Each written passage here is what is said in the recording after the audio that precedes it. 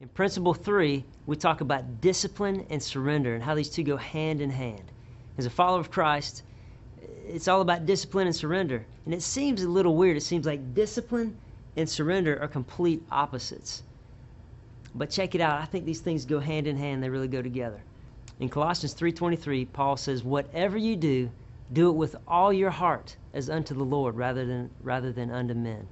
So he's saying, whatever it is you're getting into, whatever you're about, if it's your sport, your business, your family, do it with your whole heart as unto God. So there's that discipline part. Man, get after it and go hard.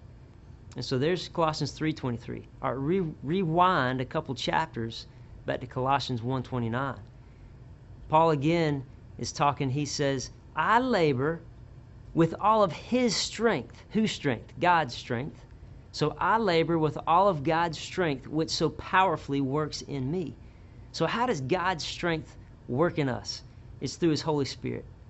So, Paul labors, but it's with the Holy Spirit's strength, with God's strength, which is working through him. So now you see this discipline. I labor, but surrendering to the Holy Spirit's power. I labor with all of His power, which works in me. So now these are going hand in hand discipline and surrender. And then add this last piece to the puzzle 2 Corinthians 12 9. Uh, God is speaking to Paul now, and he says, My power, God's power, is perfected in our weakness. God says, My power is perfected in your weakness. So when we're weak, we're finally at the end of who we are, we're at the end of our strength. We're finally at that surrender spot saying, God, I need your strength. I need your power in my life today. So there's that surrender part.